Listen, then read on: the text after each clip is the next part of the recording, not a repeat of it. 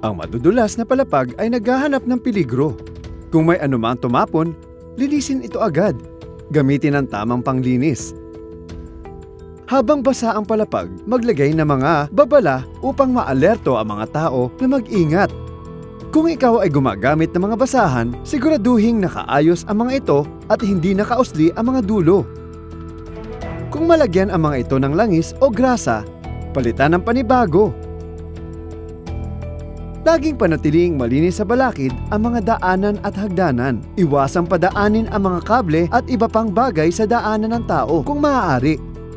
Kung hindi, markahan silang maigi at gumamit ng pang-iwas sa patid.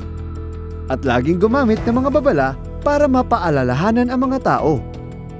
Kung mayroong mga bagay na nakausli na, maaari magdulot ng kapahamakan sa gumagamit ng hagdanan, daanan o kahit ano pa mang lugar na pinagtatrabahuhan. Ang mga ito ay dapat kulayan ng matingkad na dilaw na pintura. Ang lahat ng lugar na pinagtatrabahuhan at nilalakaran ay laging panatilihing maliwanag hanggat maaari. Ang mga nakadudulas o nakakapatid na bagay ay hindi dapat nasa dilim. Kapag aakyat o bababa na hagdan, laging gamitin ang hawakan at huwag magmadali. Lalo mag-ingat kapag masama ang panahon kung ang sasakyan dagat ay bumabayo sa masamang dagat.